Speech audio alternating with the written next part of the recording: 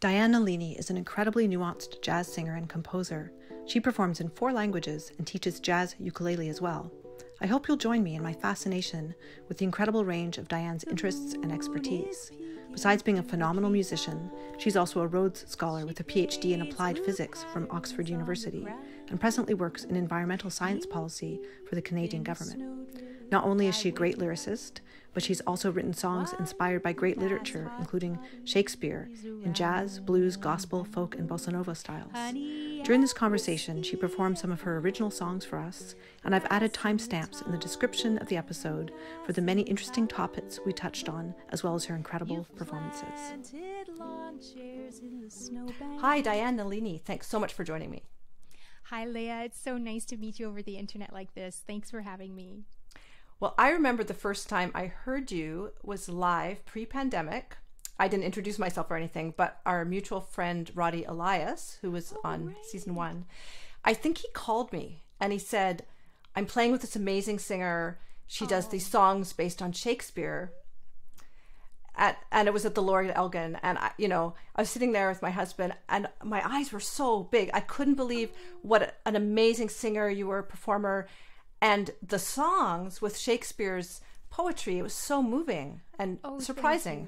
Thank wow, thanks for coming out to hear us. Well, that was such a delight to play with Roddy. He's such a star, and he's he was so game to try anything, including like just throwing in some original tunes, throw some original tunes at him at the last minute. Um, I'm so glad you enjoyed the Shakespeare project. I must say that even though I recorded that some years ago now, that's still one of my favorite albums because it's the only album I've recorded where 100% of the compositions were my own.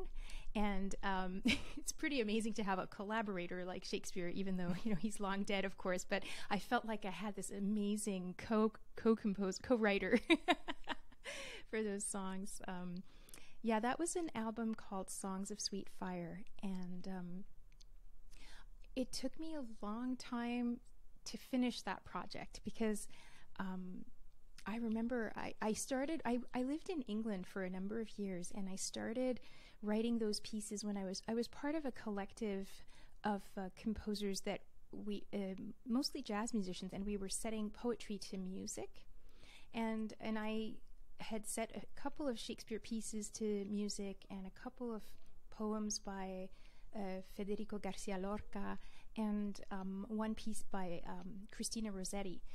And we did them all in this concert. And, you know, it was interesting because some of the, I felt some of the pieces worked better than others. And I was working with a fixed instrumentation, which was just dictated by whoever was in this ensemble.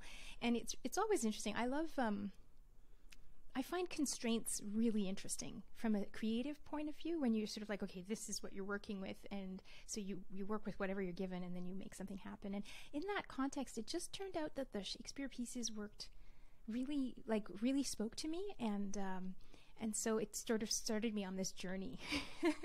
mm-hmm. Yeah, you strike me. The more I, I learned about you, and I, I'm such a big fan. I love all your albums. Oh, thank you. And I um I knew you were a Rhodes Scholar and you know a physicist and you'd done this stuff, but then I learned that you studied and and created um, Chinese calligraphy and watercolors for many years. Yes, yes, that was something. You know, when you're a kid, you don't want to be left out of anything your parents are doing. And my parents had studied Chinese watercolor painting and calligraphy for some years before I was born, mm. and then when I was old enough, they they would bring me when I was a little kid, they would just bring me sometimes to their classes because you know they didn't have a babysitter, and I would just be in the corner doodling on my own. And at some point, I decided I was like, I want to try this too. And the the teacher kept saying, No, I don't teach children, and she refused to teach me. And then finally, I hit the age of ten, and I think I was less wiggly and less less rambunctious. And she finally thought I was settled down enough that she could tolerate having me in the in the classroom and she basically said, I'm going to sit her down at this table. Any funny business or if she misbehaves, she's out. so I was like on my best behavior because I wanted to stick around. And yeah, I loved, um, I loved uh, studying with her. Her name was Virginia Chang and, um, and it would be two hours or two and a half hours a week every Saturday morning. And you know, there's something so contemplative and um, when do I find that doing calligraphy is almost like a meditation. and it focuses your efforts and it, it's it's interesting because um and I and I think that music is the same way. I don't know if you feel the same way about your journey uh, in sort of uh, in mastering your your your instrument, but progress is not linear in at least it wasn't for me i would plateau and plat and i would hit i would be at a plateau for literally years and i'd be like kind of frustrated you know i'm working so hard on this calligraphy and these watercolors and nothing is changing. And then all of a sudden it, it was like the one some something would change. You'd go back the next week and all of a sudden you'd made what felt like a, a leap in abilities. But in fact it's not really a big leap. It's i think there's a latency. It's all being percolating in the background but it just mm-hmm. feels like a leap. And then you plateau for, for a longer a little while longer. So it's interesting. It's very nonlinear and and i feel like and same same thing with musical instruments i think um, i feel like that might be one of the reasons people get discouraged and give up is because they don't see a gradual progression of they don't always see that gradual improvement and they don't stick it out long enough to suddenly see that kind of quantized leap in improvement. And if only one can have faith in the fact that that will happen with enough elbow grease um, I think if we could all have that faith, then we would stick it out. mm-hmm. yeah. yeah. I um, I, I that brings me to so many things I want to talk to you about. But before we leave the calligraphy thing, it just jogged my memory. I was in China once, and I, one of my strongest memories of that time was this old man who had one of those giant, giant brushes that was like six feet tall and yes. water. And it was a very hot day, and he was just doing the calligraphy and using his whole body, and then it would just evaporate. And it was such a beautiful thing to watch. Oh, that's so beautiful. And and that that's one of the things I love about. The other thing I love about calligraphy, and I've only come to see the linkages uh, some years later after I stopped doing calligraphy. But what what you always learn when you're doing either Chinese watercolor painting or calligraphy is that there are no do-overs. It's not mm-hmm. like oil painting where you can build layers. Every single stroke you commit to your rice paper or your silk or whatever you're painting on is there forever. And every mistake is visible and you can't cover things up. And um, and and you know, I think it was Bill Evans who wrote about calligraphy in the liner notes for the album Kind of Blue about the analogy between jazz and uh, calligraphy, saying that, you know, just like calligraphy with, with improvisational music, you record it, it's spontaneous, whatever you commit to tape is there forever. And particularly in an era where albums were not overdubbed and there was no kind of multi tracking overdos or do overs or splices or whatever, everything that you play in the moment is committed to the medium and and, and so in that sense it hadn't occurred to me that these two passions that I grew up with two of the passions I grew up with jazz and and calligraphy had that in common that idea of spontaneous creation and risk taking yeah. yeah and you created paintings for that Shakespeare album as well I did I did I had not I hadn't necessarily intended to do that. I didn't set out to do that. When I finished recording that album, I had a humongous amount of like just volumes of stuff to listen to because there were 15 songs on the project, 15 pieces of, mu- of Shakespeare's poetry or songs from the plays that I had uh, set to music. And, you know, that means even if you just do two or three takes of each tune, and that's basically what we did. I didn't have a lot of studio time, and my musicians were excellent, so I didn't need to do zillions of takes, thankfully. But even so, two, three takes times 15, you're looking at like 45 takes to listen to. And sometimes in the studio, you feel it in the moment when it's the take you know? Like if you it's almost like you get the um, la chair de poule you get um, chicken no not chicken skin goosebumps sorry. Yeah. Yeah you get goosebumps because you feel it. You're like oh my god everybody's playing so great. This is the take. And so usually like as a producer I'm performing, but I'm also trying to keep notes of, you know, did anyone make a mistake? Do we need to redo anything? So in the moment, as you're recording, you're listening to your own performance, but you're listening to everybody's performance and you're listening to the energy on the take and and and making notes. So I try to keep good notes when we're in the studio, and I'll circle whichever take I think was the one. I'll circle it my visceral reaction to whatever I'm hearing in the studio. But for some of them, I had no particular like visceral feeling, and I was like, oh, I'll have to figure that out later. So as I was listening to, I, I traveled to England to visit some friends, and I stayed there for like five weeks, and I was staying in, in the flat of some, of some friends of mine, and that flat did not have a television or anything like and I didn't. I don't think I even had a radio. This was way before the era of like iPads and and internet radio and all that. And so to keep myself company while I listened to all these takes, I started sketching and drawing and doing watercolors. And and I didn't quite realize that each of the songs was like triggering like stuff in me. Like so I was just painting what what the songs were evoking for me and and then I suddenly realized I was like, "Oh, I have a I guess I have now I now have this collection of watercolors that sort of correspond to each of the songs and so that became the booklet with the lyrics. So that's the the most expensive album I've ever produced because it had like this 20-page booklet or something.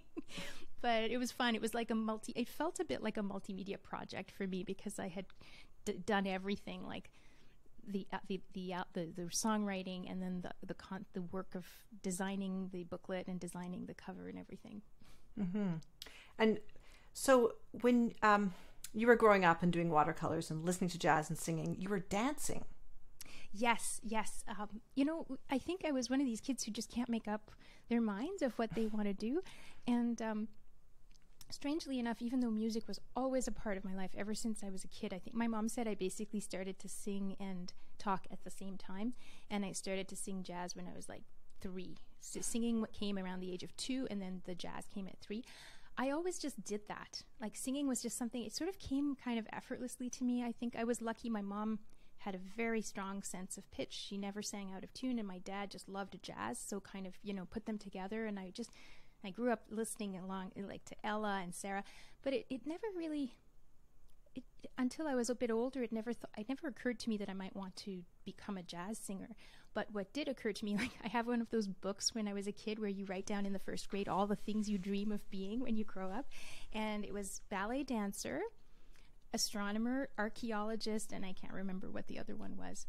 But I didn't see as tip, you know, with with kids, kids don't see limitations. They don't think, hmm, I can't do all those things. So you just have big dreams, and you think, I want to do all these things. Um, and ballet, yeah, I didn't love it my first year studying it. I enrolled in in ballet. I think I asked my mom if I could take ballet lessons when I was five or six, and I also was studying piano with a nun at the school where my mom taught. Um, and she was a very nice lady, very nice nun, but she was very strict, and she wanted me to follow the piano curriculum, and she wanted me to read the notes, and I. Um, I was not good at I was not paying attention to that. I would learn stuff by ear and then I would just look at the keys and remember where the notes were and what I wanted to hear. And she'd be like, Stop looking at the keys and look at your page and learn to read your notes and I was like, ah and then I wanted to syncopate everything. So my dad my dad says he remembers me when she left the room at one point to go to the bathroom. I said, Oh, come in here and I started like jazzing up Papa Haydn and stuff, stuff like that. And so she was not impressed with me. I was like a, a sort of um, like an unruly student, I think. Um, yeah, so I I, uh, I gave up piano in favor of ballet and studied that for the next pretty intensely for the next 11 years and I wanted to be a dancer and I was like you know every year I would do more hours per week. And and of course dance is so wonderful because it's music you know it's it's your, body is em, you are literally embodying the music right? And so if you love music you get to move to it and it's it's just it's glorious. Um, and at at one point I was doing like 20 hours a week which was which is a lot when you're also in school in high school and stuff. So it was like 3 hours a night plus on weekends like 6 hours a day on a Saturday or something like that. As when we had shows we would do these annual shows at the Place des Arts in Montreal as a as a as a company. We were not a professional company or anything but she our choreographer had professional dancers that she'd hire into the company. And then I was lucky enough to sort of get to do some solo pieces or be a soloist in some of her choreographies. And then one year I auditioned to the National Ballet School's summer program and I got in and I went to Toronto and it was kind of draconian like you get there and they wouldn't let you call home for the first 2 weeks mm. because they wanted to see if you could handle living away from your parents and I was very much like very close to my parents and um, so that I was miserable like from the get go because I wasn't allowed to call home, and everybody was everyone there is either like anorexic or bulimic or both, yeah. you know, and it's just it's not a healthy lifestyle. And I didn't I didn't want to end up that way, and I could feel the pressure to lose more weight. And mm. plus, you know, my knees, I had problems with my knees, and I had chronic tendonitis in my Achilles tendon on my right foot. And I just thought, I'm going to be one of those people who's constantly struggling with injuries, and it's just going to get worse as I get older. Plus, I, I did love sciences and I enjoyed them, and it was pretty clear to me that if I wanted to be a dancer, I'd have to give up on going to CEGEP and university, and I'd mm-hmm. just have to just do dance the full the whole time. So it's funny because it was the very next year after I kind of quit dance cold turkey for a little while because um, I couldn't stand to see myself go down. Like I couldn't stand to see mm-hmm. that. I was like, last year I could do triple pirouettes, and now I, you know, you think your your legs up there when you're doing it 20 hours a week, and then if you go back to doing it twice a week or something, and like you can't lift, you can't just you just can't do the things you used mm-hmm. to do because you're not at peak level, right? And I quit. I went to Dawson College for CEGEP, and that very year, I met um, um, a bassist who became my boyfriend at the time um, and and we started doing gigs together professionally and it was it was amazing because it was as if dance had left my life and it had left this big gaping hole of artistic yearning in my life. And just very fortuitously I started I met some jazz musicians and I started to sing jazz like professionally like from a pretty young age. And I was it, it really filled this this need in my life, the, the big gap that had been left by dance, and it was just felt like so much fun because it's something I had been doing since I was a kid, and I had sung in church, and I had you know sung some solo solo stuff in choirs and stuff, but it was not the music that I grew up the most passionate about. So being able to perform it when I was uh, in CEGEP and university was like a big thrill. mm-hmm. And in terms of mentors, like you met a science mentor in Dawson College, right? Yes, I had, you know, I had many science mentors. Um, I, I, had a wonderful uh, physics teacher by the name of Richard Shoemaker mm-hmm. who really opened my eyes to the beauty of physics. I had a wonderful chemistry teacher called um, uh, Mr. Jan Mohammed, and together um, it was just so inspiring to be in their classes because they followed the logical thread of things and I feel like some of the ways of thinking about science that I still have to this day are due to those people who basically were always wanting to derive everything from first principles and avoiding memorizing too much because you could always arrive at things from first principles. So I really, I, I feel like I owe a lot to them. Mm-hmm. That's that's amazing. So you I, I'm trying to. I know you have your ukulele and you're gonna. Uh, you've been prepared to sing for us. Do you want to oh, yeah. have a little music break, or do you want to do absolutely. that later? no, happy to do yeah. that. Absolutely. Um, so, um, so this is a um, a baritone ukulele, which means it's tu- it's tuned D G B E, like the top uh, four strings of a, a guitar, actually. And uh, I thought I would uh, play you something since we've been talking about physics. Um, I thought I would play you something from my fourth album, um, which was called "Kiss Me Like That." And I was going to ask you about the song. oh yeah, oh yeah. sure, yeah. Oh sorry, please go ahead. oh no, just that I knew that you're. I'm sure you're going to say exactly what I was going to ask you in terms oh, of. sure. Yeah. Okay. Yeah. Um, so this is a song called "Winter Eclipse," and I wrote it uh, on a after a really cool but actually very cold experience of staying up late to watch a lunar eclipse uh, with a friend. Uh, this was, I think, this was a lunar eclipse in February of 2008. I think it was, and um, and he kept making us hot toddies, going inside and making us hot toddies to keep us warm. And um, yeah, I'll do this song for you now. Maybe I'll explain the ending after I finish it. All right. The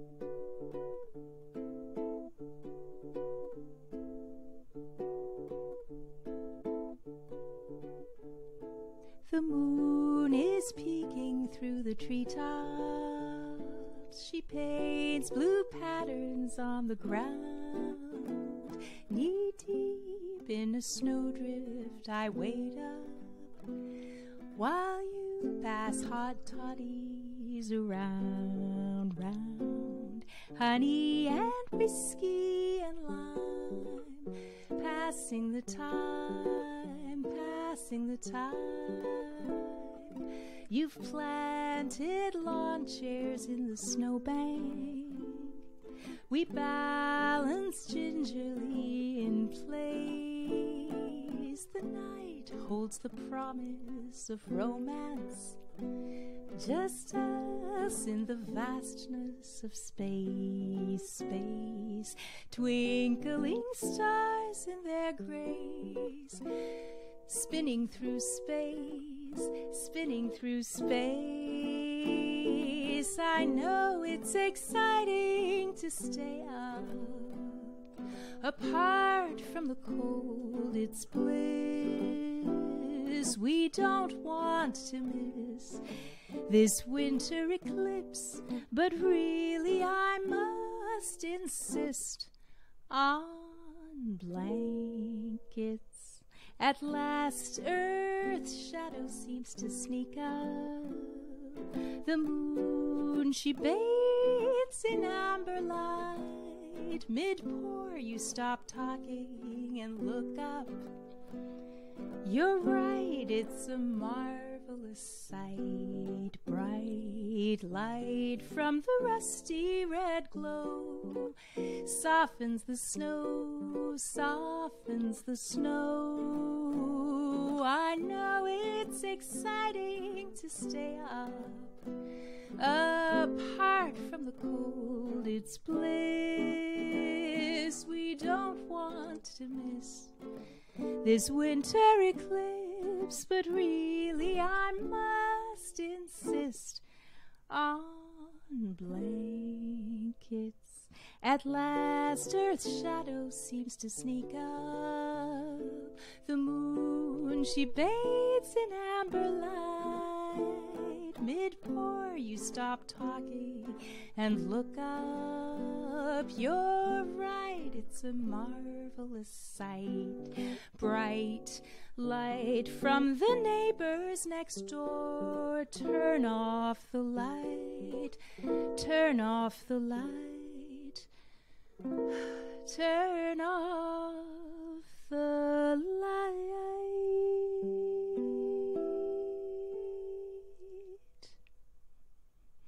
Beautiful. Thank you so much. oh, thank you. so that that was like a the the ending of that song is actually something that happened to us where you know we'd been watching in the dark for what felt like hours um, because lunar eclipses take a long time to happen and uh, and we'd been watching and your eyes get adapted to the dark and you're seeing like all the stars and the beautiful rusty dimmed moon. And then somebody turned on their porch light and we were like ah! Totally blinded. So what's really funny is um, i was contacted um, you know it, I, I, was contacted by someone from the Dark Sky Society who asked whether they could use that song as kind of like a something like an emblematic thing of like to, to, to advertise the needs for respecting the dark skies for astronomy. I was like, yeah, go for it. I was I was also thinking of your song um, that you wrote as a mnemonic for the Order of Stars. Kiss me like oh, yes, how's it? Kiss me yeah. like that. Yeah, that's right. Yes, yeah. It, it um, you know, it's funny because I was teaching an astronomy class at University of Guelph, and um, it, they they use um, it's it's a very kind of random order of stars on when when stars go through life on something called the main sequence. Uh, it basically the main sequence is basically a sort of a, a rule that helps you organize stars into categories where, provided that they're still fusing uh, hydrogen into helium in their cores, this is a part of their life cycle that's kind of predictable and basically, if a if a sun is very very massive, it's going to be very hot, and it's going to have a surface that's more like bluish, and it's going to be what's called an O-type star. And um, if a, a, star is um, like O be a fine girl, kiss me, the M class stars at the other end of that alphabetical mnemonic they're going to be the smaller stars that are going to be redder and dimmer and less bright. And so the, this mnemonic is something that all astronomy students learn. It's just a way of trying to keep track of which type of designation to give stars in order from very hot, which is the O type star, to very, very cool, which is the M type star. And that mnemonic has existed since Victorian times. But more recently, thanks to more powerful telescopes, they discovered two other extensions to that classification system, and those are the L type stars and the T type stars, which are even dimmer and are very hard to see, which is why they were only discovered more recently with more powerful telescopes. And so I thought, okay, we need to expand the mnemonic, and I thought, okay, well, I want this, I want this to be a bit of a feminist, empowering song. So it's going to be a lady who's saying, um, "Be a fine girl, kiss me like that. Tell me, tell, tell me how you want to be kissed." And it can be, "Be a fine guy, kiss me like mm. that." it can be either. It's gender neutral. but yeah, so I thought I'd write a song to to play for my students that would would help them to remember um, remember things. I think that song in particular, it didn't start life out necessarily as a song. I, I think I started writing an angsty kind of poem about a breakup. and so that song is a bit of an allegory for uh, a relationship that's gone bad. And it starts out really hot, like uh, like the early universe, and then it cools out and starts expanding and cooling, like like the Big Bang. Everything gets cooled after the Big Bang. your your students must have been upset when you decided to leave academia and Aww. work for like you did climate um, ad- advising for the government, right, on climate yes, change. I, I actually I still work in Environment Climate Change Canada now. Mm-hmm. I've done a few. I've moved around departments quite a bit. I started my my career in the federal government in Environment Climate Change Canada.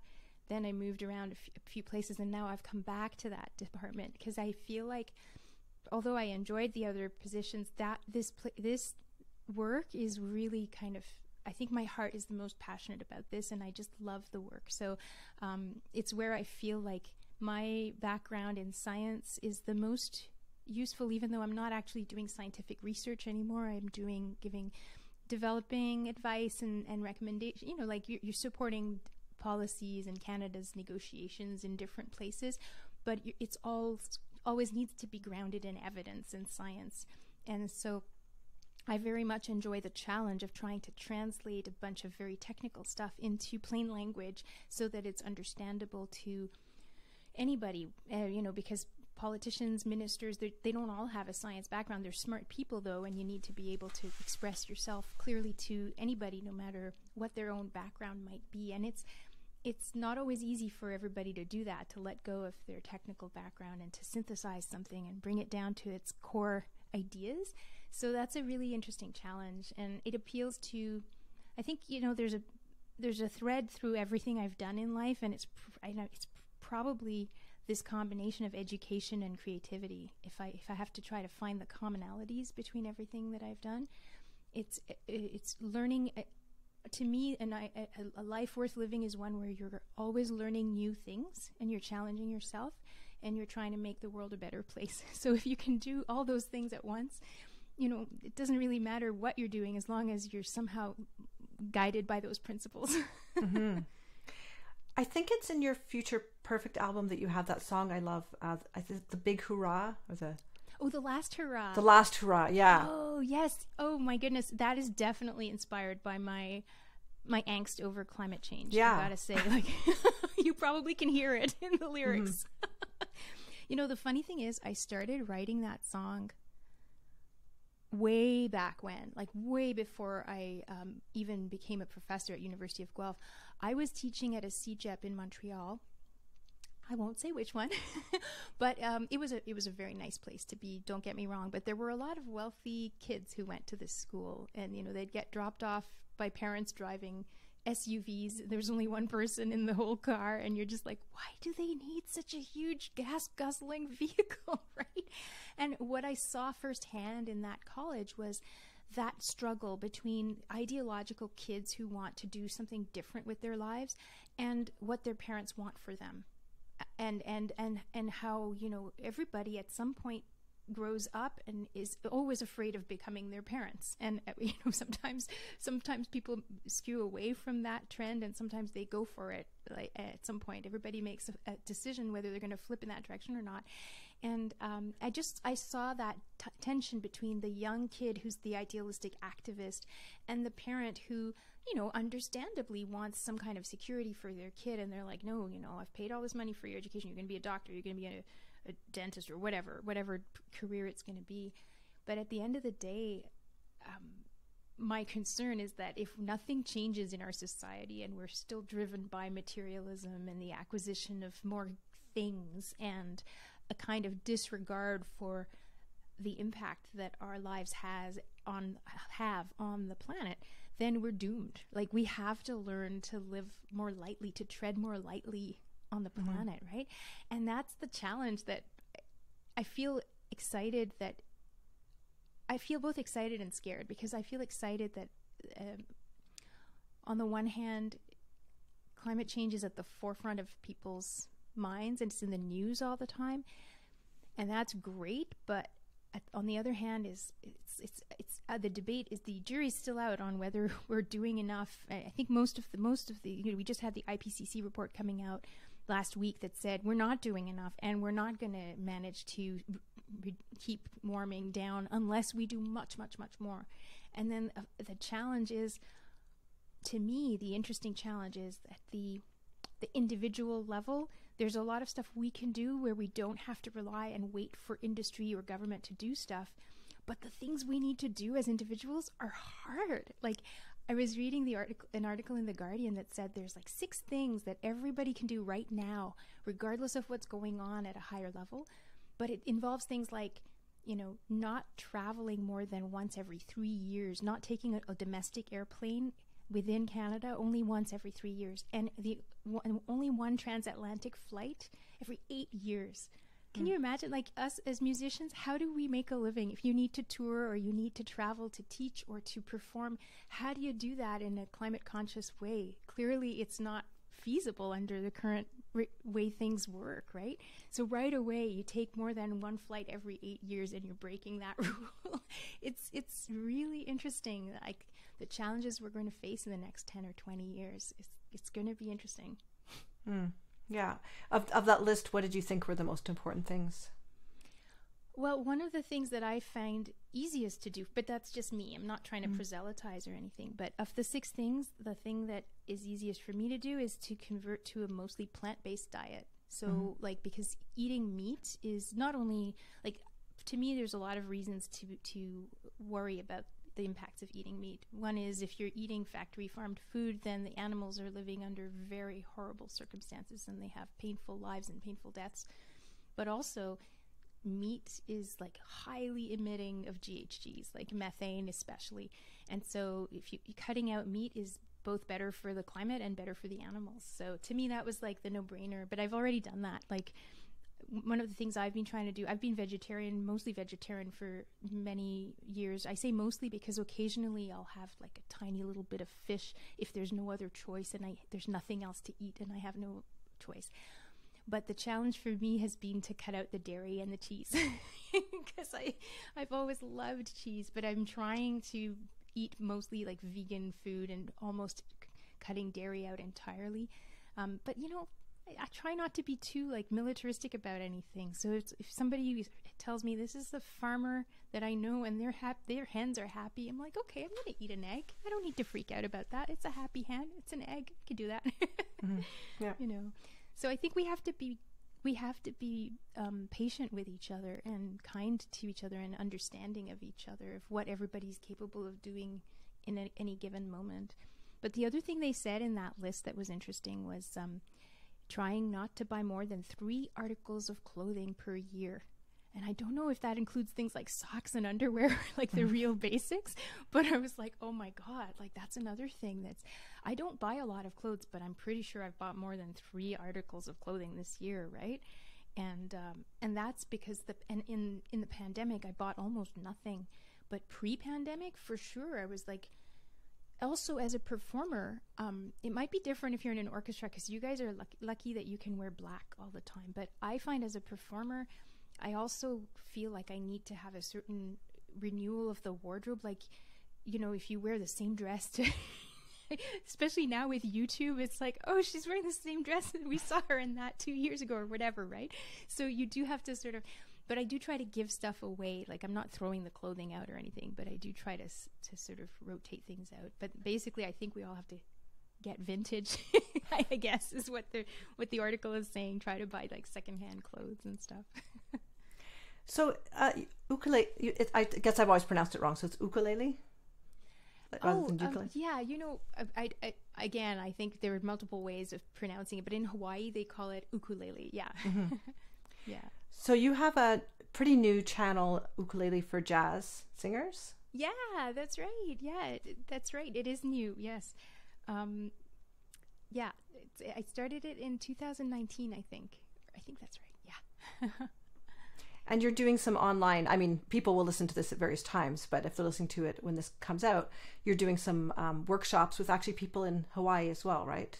Yes, exactly. Um, I um, I started the channel Ukulele for Jazz Singers because I um, I had a, a, number of voice students who um, don't play an instrument, and and that seems to be you know like it, it's it's it's almost like a mental like a, a psychological hurdle for them to um, it, to to kind of approach a piano and so um, what I what I was trying I tried I, my point in starting that channel was to be like okay if you want to sing jazz you got to play if you got to play some instrument just so that you have a chordal basis to not just not necessarily to accompany yourself for an actual performance but when you're trying to work out chord charts and write arrangements for yourself you need to you need to know how to how to do that. And um, and there's also a lot of gobbledygook out there in the published world. Like some some published sheet music for jazz songs is good and sometimes it's rubbish and or there's mistakes. And so you need to be able to figure out for yourself if the chord chart is correct or not right? And uh, what I noticed is there are some some singers who will like pay a pianist to write all their charts for them, or they will pay someone else to help them with their arrangements. And I just wanted to do something that would start to empower people to to take those steps uh, to learn an instrument. And the the ukulele is so wonderful because it's um it's not intimidating you know? You got four fingers available and four strings. It's like it's almost like it was meant to be you know? Mm-hmm. and it's it's a very joyful instrument. It's small. Like i call it my goldilocks instrument because about 10 years ago i, I studied um, guitar. You know, I was trying to learn the nylon string guitar because I love bossa nova, and so again, I was trying to figure stuff out a lot by ear for myself. And um, and while I love the guitar, it's just a little too big for me, and I was finding my wrist was kind of hurting just I know that's no excuse. I feel really bad saying things like that because you see those little North Korean girls who are like five years old and they're playing huge full sized guitars in these little ensembles of little, and you think, oh, if a five year old can do it, I should be, I should not complain. But anyway, this guy is just the right size for mm-hmm. me. And, um, and so yeah, it's, it also, the channel also delves a little bit into some very basic uh, jazz, jazz theory just so that people I again whenever I teach workshops I try to throw in some just very basic theory. It's not like it's not again not intimidating, but just trying to explain to people this is a 251 this is a major 251 a minor 251 a 1625 like the can the kind of progressions that they're going to see over and over and over in jazz standards just so that they can start to to recognize those mm-hmm. and um, the, the the workshops that i do online are sometimes i give zoom workshops and those are more intimate so i might have like 20 30 people and people can ask questions and we can all see each other, which is great. And then other times I do live stream workshops over YouTube. And what's fun about that is I make them free so that um, anybody can join. You know, if they can't afford to buy a handout, they don't have to. But then I also have handout how to handouts and and I put together usually like a booklet, a resource booklet that will have like the history of the tune and maybe like 10 different recordings linked so that people can check out different recordings of the tune and um, and just some harmonic analysis and stuff like that so that if they want to enrichment enrich their experience they can get the booklet and have the chord charts and there's like backing tracks that I'll give them and everything. And that's been really rewarding because that's something that I only started doing during the pandemic and uh, out of necessity because um, everything was canceled all our concerts were canceled and my workshops that I had planned to give in person were canceled and I had been booked to teach. This was in 2020 I had a whole bunch of um, work of, of, festivals that I was going to teach in, mostly in the U.S. The U.S. has a lot more ukulele festivals than we do here in Canada.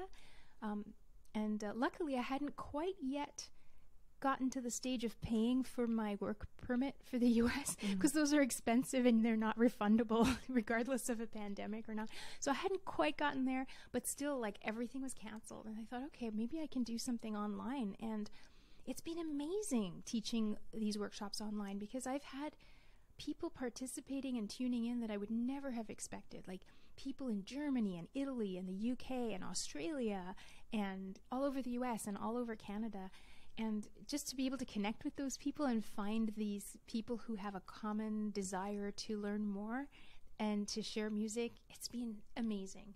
And it's very heartwarming to see the comment like people in the chat will be saying things like you know this has really brightened my day or thank you for you know bringing this song and this music into our lives during this difficult time and it was the same feeling we got when Adrian, my husband, and I started live streaming. We we did a series of um, concerts, excuse me, of free concerts at the beginning of the pandemic again just to try to bring some happiness into people's lives. And people would write down they'd be like this is great you know there's no live music happening in Ottawa right now so we really look forward to your Saturday concerts. And again it was like building this community of people who just needed that um, that injection of joy in their lives. And what we did during that concert series was um, we always ended each live stream with a sing along song.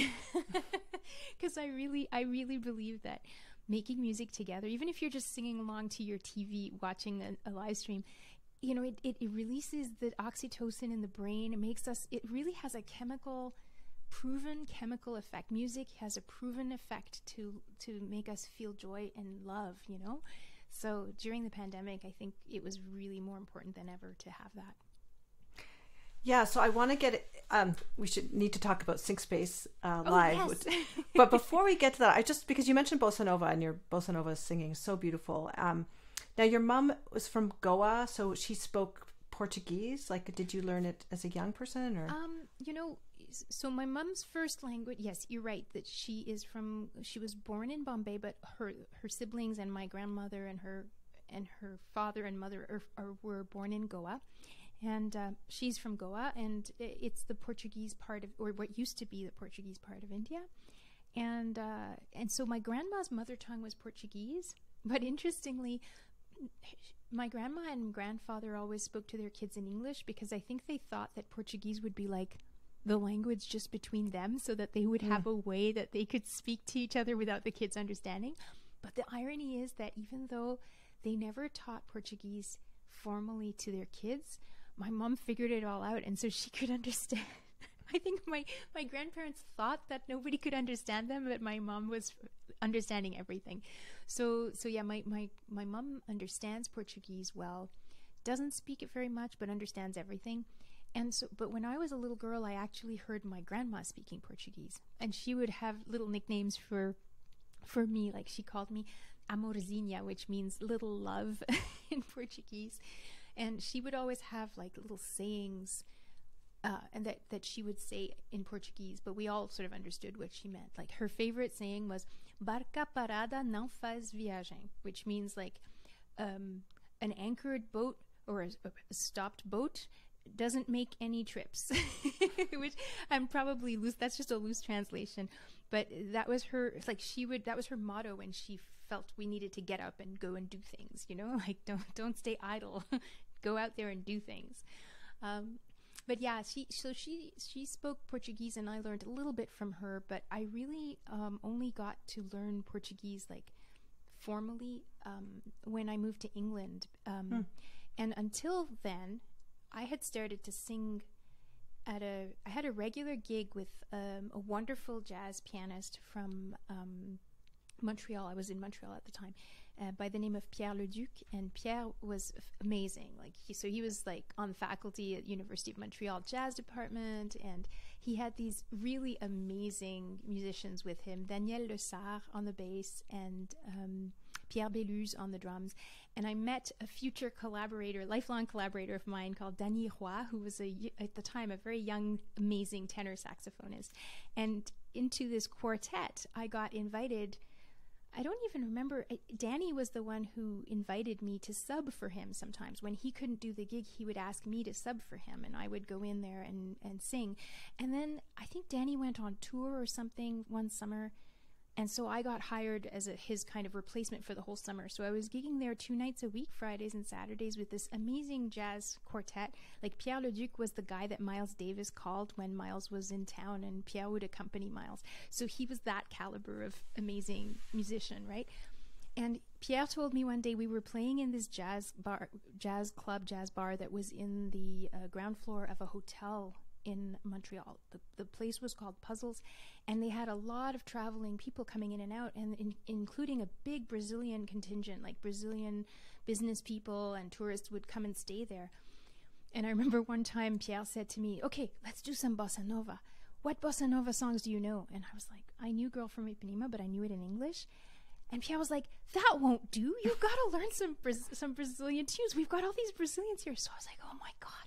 So I, you know, I studied really hard for the week, the following week after that very first time playing with him.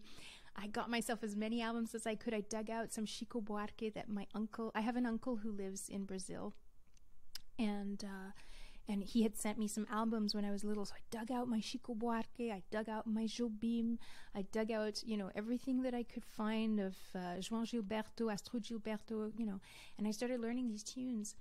Um, but I was I was singing them through the guy. The accent that I had at the time was something inherited from my mom, and it was a, luckily I was okay speaking like Latin languages generally because you know I went I spoke I grew up speaking English and French. I went to French school all my life, but I also studied about five years of Spanish in the same school that I had been at, and we studied it at a pretty rigorous level. Like we were we had very strict grammarians teaching mm. us, so it was great because the grammar of Portuguese is not dissimilar at all to the grammar of of, uh, of Spanish and French, and so combined, I could kind of fake my way through.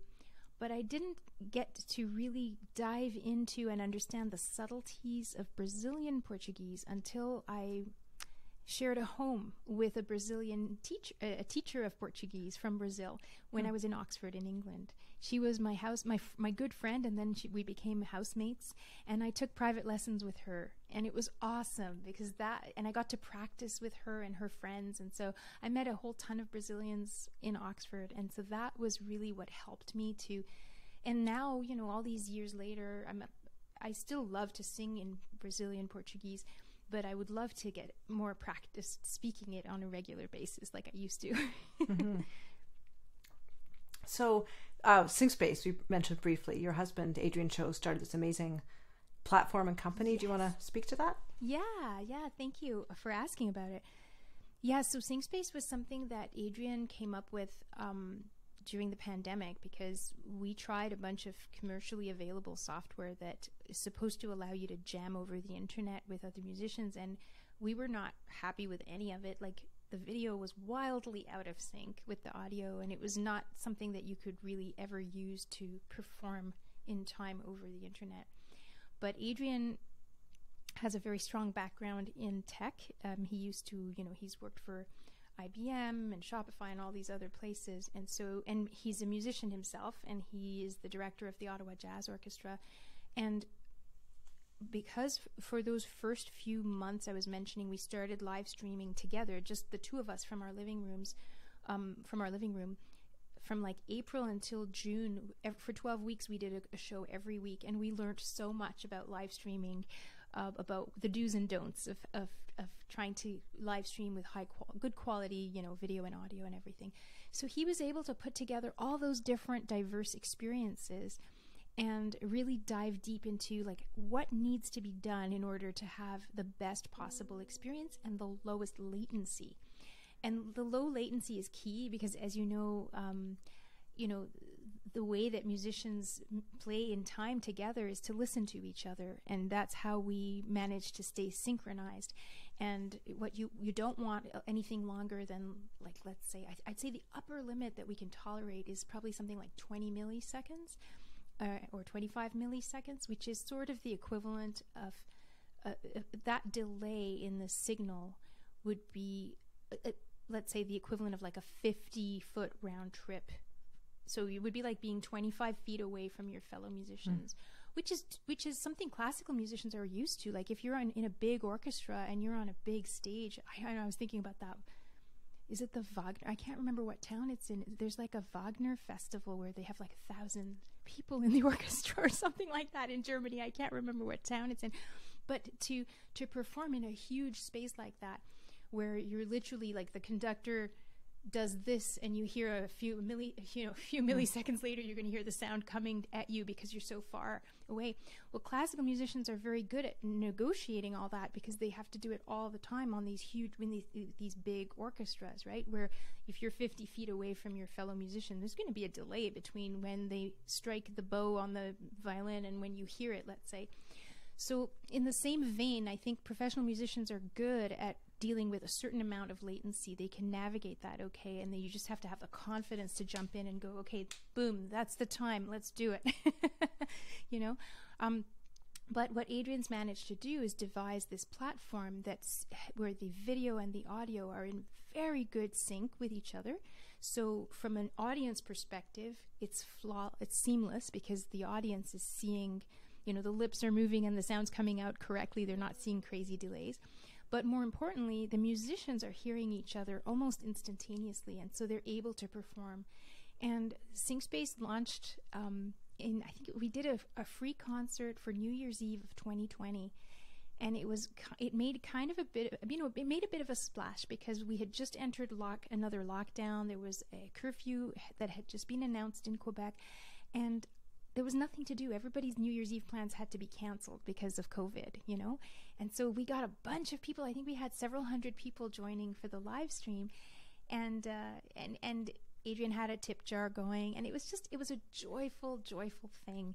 And, uh, and, and then Adrian decided to launch SyncSpace as a platform, as a concert venue, as an online concert venue and we got a wonderful i helped him with the sound just that first time because it was a lot to do to do he's mixing video and he's switching mm. between like he he he'll listen for who's going to solo and he'll put the camera on them yeah. like everybody you know he switches live on the fly he's doing video editing like on the fly and again his background as a musician helps him to predict like he can he can tell when someone's about to take a solo just based on the fact that you know the the dynamics of the tune might change and, and you know that that means the solo is about to end and someone else is going to take it so he he can really edit to the music in a way that I think someone who doesn't have that musical background might have done the edit a bit more randomly, whereas he'll always edit to the beat. So, you know, he'll edit at the end of the eighth measure of a 32 bar form or at the end of the 32 bar measure or whatever. So it's always very musical. All his editing is very kind of tasteful and musical. Um, and then I was just helping that first show. So I did the sound and he did all the video. But he has since then become very adept at doing both. so unless it's a big band where it's like 11 or 12 musicians, then maybe I'll come and help and do the sound again just so he can focus more on the many, many people who are on video.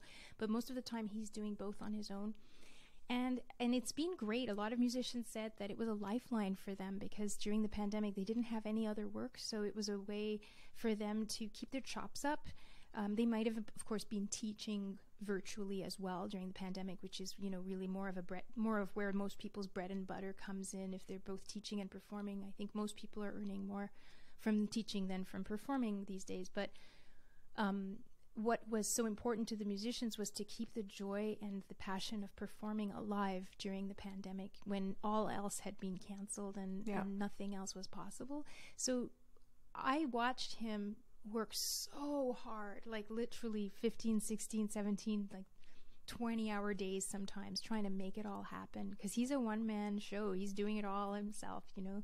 So he develops the platform, he hosts the concerts, he attends people's rehearsals so that he can get some footage to cut into a one minute um, mm-hmm. trailer for the concert and he is the one having to do the promotion for those concerts. And so he's doing everything but it's it's been amazing to see how he's turned this into something really special and really unique. Um, and he's had classical musicians on the platform jazz musicians. Um, there's this quartet of klezmer musicians quartetto gelato um, and a french horn ensemble of like four french horns it's pretty amazing. I've never seen that before with just four French horns doing a concert together. but like world class, amazing New York Philharmonic French horn guys, and you know, like they're all world class. But it's, it's like so. What's interesting about SyncSpace is you can have these very experimental combinations of musicians. So, for example, um, I think this is it this Friday or this Saturday they're going to have a concert with three pianists.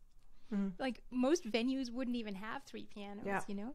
And they're going to, it won't be three like traditional pianos. I think one of them is Mark Ferguson's going to play like B3 organ, mm-hmm. and uh, Peter Hum is going to play his Rhodes, and then Mike Manny's going to play the actual piano. So texture wise, they won't be stepping on each other's toes because they each have different sonorities, but it's still pretty bizarre, right? To have three keyboard players, but they're going to do it because they can, because they can each be in their living room um, yeah, so I'm just I'm really proud of Adrian for what he's accomplished, and now he's moving into the teaching domain. So he's developed something called SyncSpace Teach that allows people to to teach again with very low latency. It's not quite the low latency that you'd get in the platform SyncSpace platform. There is in this in this teaching thing there is still a little bit of latency, but I was with someone the other day and we sang Happy Birthday together, and it was like you couldn't tell that there was any latency. So I'm pretty excited about it for my teaching purposes. I'm organizing a ukulele jazz festival in May. It's going to be a two day festival. And I'm hoping that I can use his teaching platform for portions of the event because um, it's got a really fun interface that allows you to hang out together in social spaces and you can get like a little virtual drink mm-hmm. and stuff. It's just way more fun than Zoom or anything like that. So yeah, it's uh, it's really cool. I, I'm very excited to see and interested to see what happens like when we finally get out of this pandemic. Where is the balance between virtual and um, and um, in person going to land? Yeah. Because I, I don't know about you, but I, I have found that from a teaching perspective, there's a lot that I love about teaching over the internet. Um, I I have a setup at home, which is my like this is my teaching studio that I'm in right now, and I have like a little switcher where I have a second camera, and I'll show you what I mean by that. It's like I can switch to this, mm-hmm. and that just shows like a magnified version of my left hand. So when I'm doing chording, I can show people, and then switch back to like you know like a main view. And I love being able to do that because when you're teaching, you know, if you're teaching like a larger group of students, whoever is sitting in the front row gets the best view, and then the person mm-hmm. who's stuck at the back is struggling to see, like, what's she doing? Was that the third or the fourth fret? What did she just do? You know, whereas here, everybody gets that same view. And uh, and so I'm, uh, but I do I miss the chemistry and the joy of making music in the same room with people, obviously. So, but I feel like internet is never going to go away now. This internet teaching, I feel like it's sort of. Do you think that it's been a, a seismic shift? Yeah, I definitely think so. Yeah. yeah.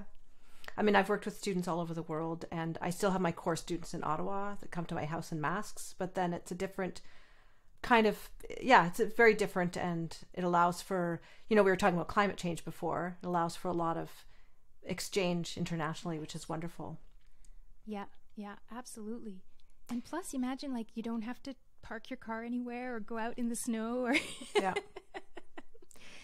Now you're yeah. holding this beautiful ukulele oh, this whole time. Yes. Would you play something else for us? Oh, absolutely. I would be delighted to. Well, since you mentioned bossa nova, maybe I would do um, an, a bossa nova that um, that uh, I wrote. It's called um, it's it's in French. Is that okay if I sing something in French? Great. okay. oui. Okay.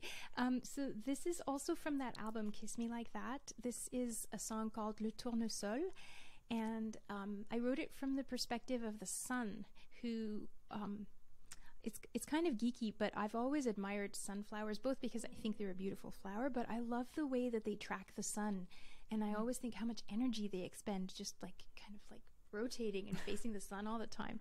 But but I thought to myself, what if the sun took an interest in one of these sunflowers and fell in love with the sunflower? So this is a song sung by the sun to the sunflower. it's called Le Tournesol, which means um, sunflower in French.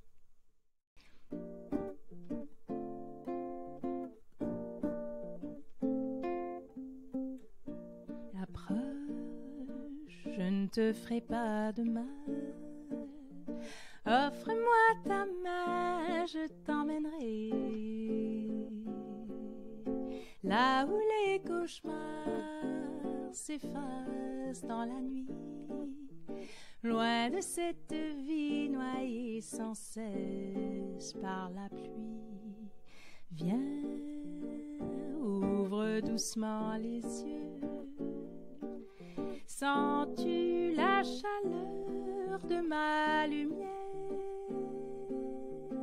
À toi de suivre les traces de ma lueur. Laisse mes rayons percer ton cœur.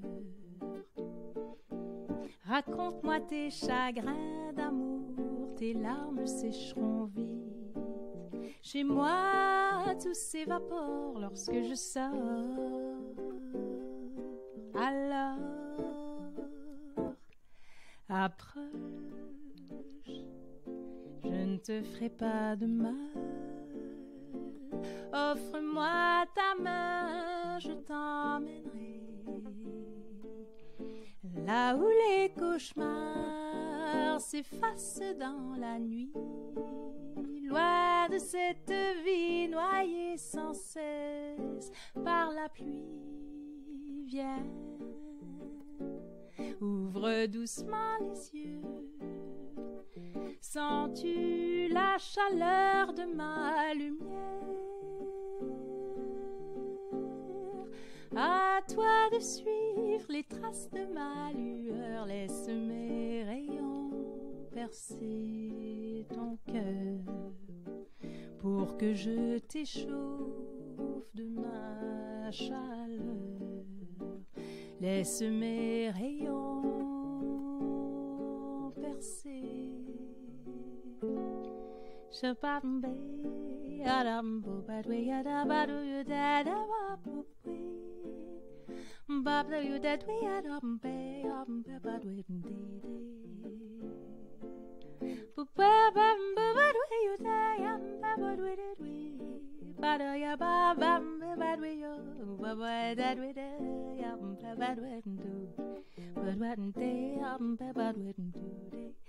But when they bad we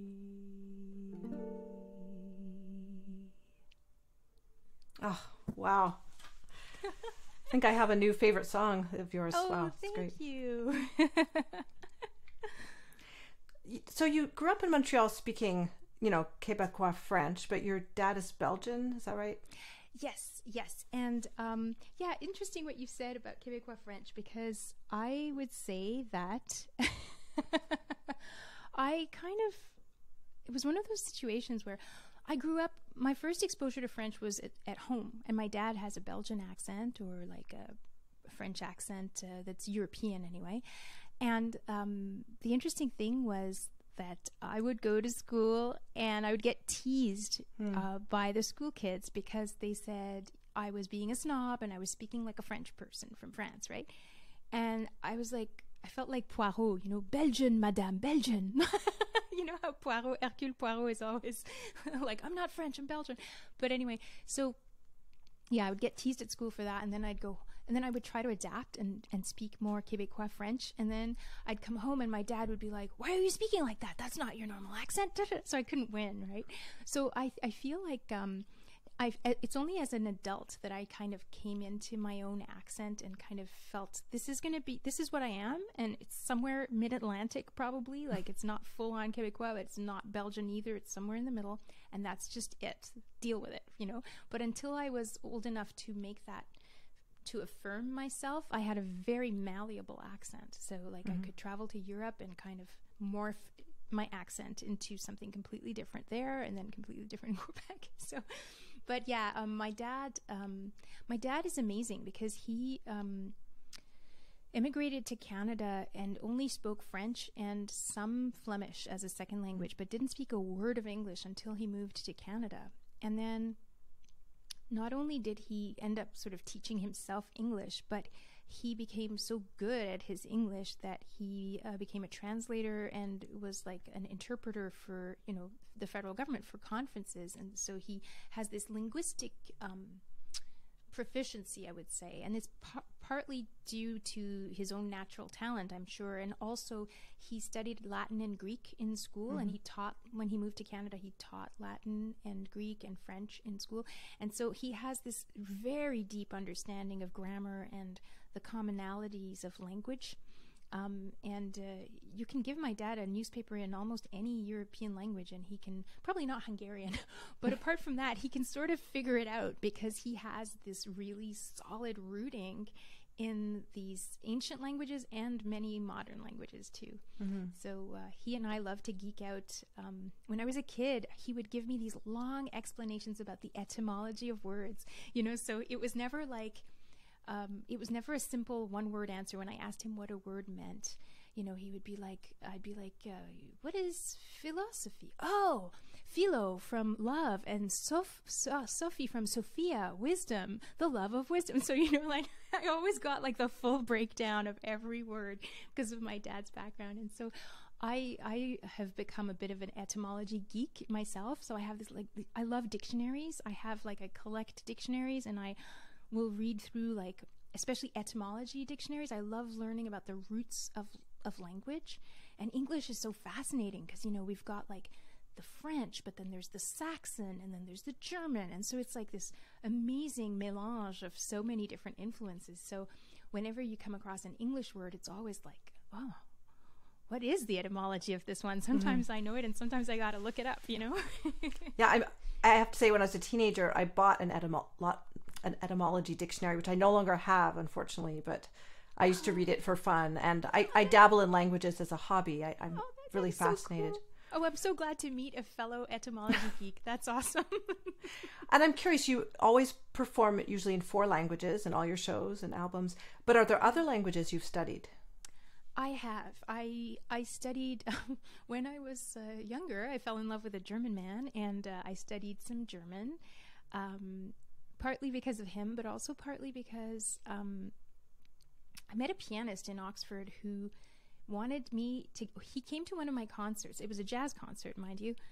And he says to me, You want to get together and do Schubert Lieder? I'm like, I said, Holy cow. I said, You realize I'm not a classically trained singer, right? Like, I, you know, I'm not going to be like Janet Baker or something. You know, I can't I can't sing that way. so so he said that that's okay. We're just going to do it for fun. And it was it was really um, intimidating to me because I love classical repertoire. I love Lieder. I could listen to Schubert all day. I could listen to Mahler all day. Like I cry when I hear Das Lied von der Erde, you know, like but um but I am used to phrasing songs how I want to, you know? So it was really hilarious because the first time I got together with this pianist, I had I had done my homework. I had listened to umpteenth number of different versions of the of, you know, the tunes that I knew we were going to be doing. I can't remember it was like Die Forelle or whatever it was. But um, but we got together and he's he's accompanying me and he stops and he goes, "That was a dotted quarter note." like, oh my god, did I hold it too long? I'm really, really sorry. I'm not used to caring about what's written on the page.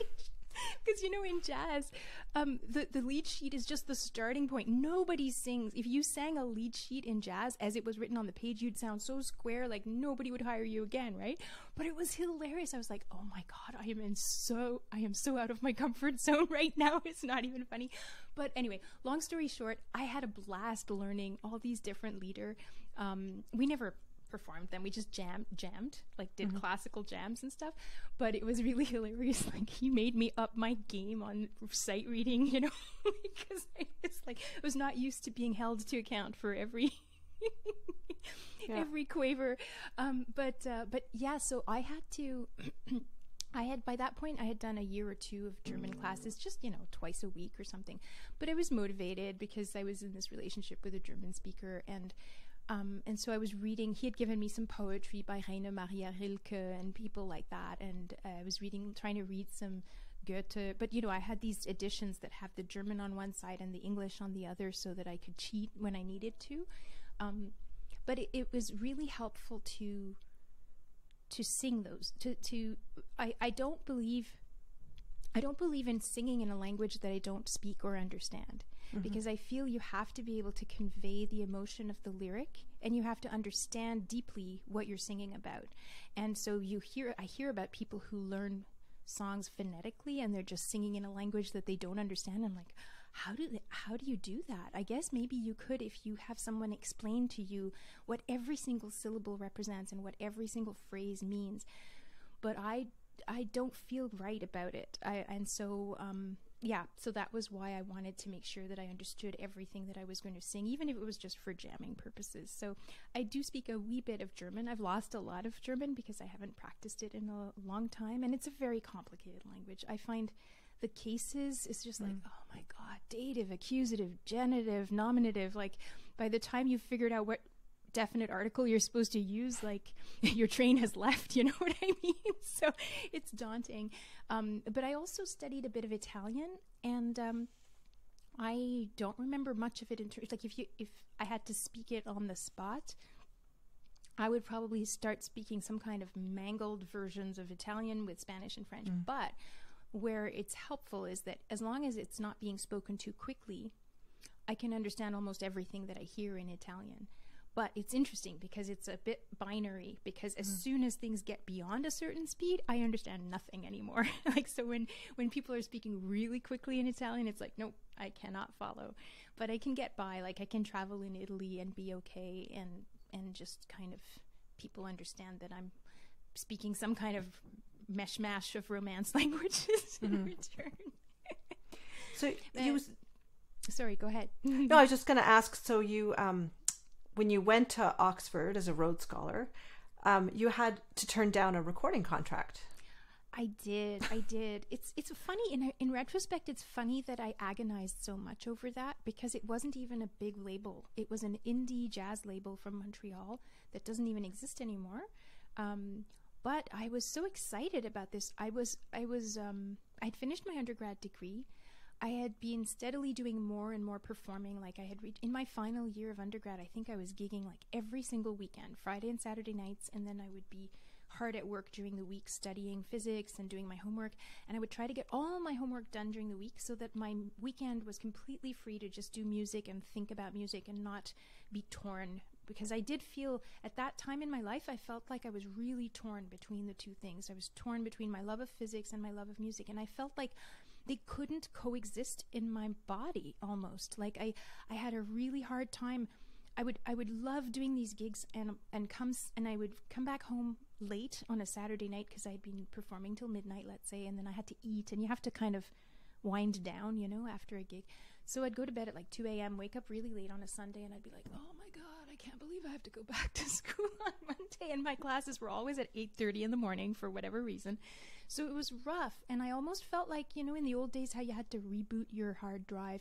You could, I'm going to show my age right now, but you could boot it up in like, um, you know, like Windows or Unix or whatever. You had to sort of insert a different booting disk or whatever. But, um, but yeah, so I felt like that. It was like I had to reboot my brain into physics mode um, on a Monday, and then come Friday afternoon, reboot into music mode and I, I, was wondering how I was going to continue. Like, how could these two tensions continue to exist inside me? And it felt like it all came to like a crunch when I won the scholarship and I was told you have this amazing opportunity to go to Oxford to do your PhD. But you also have this recording contract in front of you, right? And that was something I'd always wanted to do. I always wanted to make a record. And um, thank goodness I got some very wise advice from a friend of mine, Andre White, who's a, a a jazz pianist from Montreal and a, a wonderful educator uh, from who teaches at McGill. He said to me, he said, "You know, this isn't going to be your only recording opportunity. You can you can make a record any time in your life, but the Rhodes is only going to come around once. You know." Um, and until that point, I mean, I hadn't considered declining the Rhodes or anything, but I had considered postponing it mm. asking i was thinking could i ask them if i could postpone it would that be the done thing will will they think i'm not serious enough about it and will they take it back away from me like would, would they withdraw the offer if i said i was uh, thinking about postponing so all these things were going in my brain and then Andre said, "You know, you don't you don't have to do this now. You could make a record anytime." And he also told me because I was very young at the time, and he said your voice is going to change and mature as you get older, and you might not even you might wish that you had waited, you know, like uh, to do a recording. And he was right on those on both counts. And the thing about that contract was it was a very controlling contract. They wanted to control who I was going to record with, what repertoire I would record. Mm. The contract also said that I had to go in when they wanted me to go in to the studio. And I said, I, I said, there should be a bit of give and take, right? They should be willing to be flexible and accommodate my needs, and we should have a mutually agreed upon time to go into the studio, for example. But they weren't really willing to bend at all on that. So that to me, that was a signal. It's like these are this is not going to work out. This is not what I want. And I'm glad that I waited because I ended up producing my own recording um, some years later. Um, I think um, about five years later, I did my first album, and uh, it was totally indie. very modest pressing. I think I pressed like 500 CDs. Um, and but but they all I managed to sell them all at gigs and in, in, this was in the UK and so then I pressed another 500 and then sold those and so you know it was like little little steps like that but uh, it was amazing and I learned so much from having to produce and to this day I still love working that way I love not just singing but actually thinking about arrangements and thinking about how to sequence the songs how do you make an album um, I mean, now I guess I guess with streaming, the concept of albums doesn't really matter anymore. But in those days, I really paid a lot of attention and gave a lot of thought of how to sequence the songs, mm. so that I was varying things like tempos and keys and languages and. Um, uh, you know, alternating between not putting, you know, you have to think about so many things. You don't want to put all your Latin tunes together, or your boss says you have to. You have to spread them around. You have to make sure that it's not going to jolt people. There's just so many interesting things to think about when you're putting putting mm. together oops putting together an album. And I remember sometimes I would sequence songs like three or four different ways and then play them through and and see which one resonated the most with me and then that agonizing the most agonizing decision to me is always which song is the first one which what should be the first song on the album so that it, it's um, compelling but also somewhat representative of what the rest of the project is going to be. You know, it's oh, there's so many variables. It's like a puzzle. It's really like putting it all together is such a puzzle. Um, yeah, it's uh, it's it's it's amazing. but when you went to Oxford, you were able to sing. You were able to still do music. Yes, yes. It um, you know, it took me a while to meet musicians. Um, I've had to do that a few times in my life. Every time you move, um, it's like you're starting from scratch. And this was this was before the um, before I had my own website or anything like. Um, so I didn't really have any kind of like place where people could go and hear me. I had a demo. I had I had made a cassette back in Montreal, and I brought my demo with me. But you know, to to um, I felt like I'd left Montreal where people knew me, you know, and I'd had a little bit of exposure. I had done a, couple of festivals, the, the Festival de Jazz International de Montréal, like the Montreal Jazz Fest had hired me and I had done this big outdoor concert and I was, you know, it, singing around the circuit. And I knew that if I phoned musicians, they'd be like, yeah, I'd love to do that with you because they knew me and they knew I was reliable and I could hold a tune and I knew when to come in and all those things that, um, that musicians are always skeptical about when it comes to singers, you know. Um, but then, you know, you go to a new country and it's, I didn't know anyone on the scene. And then luckily I met a, a friend of a friend connected me to a Canadian jazz pianist who was living in London. And through him, I met a few musicians and then I did the odd gig or here or there.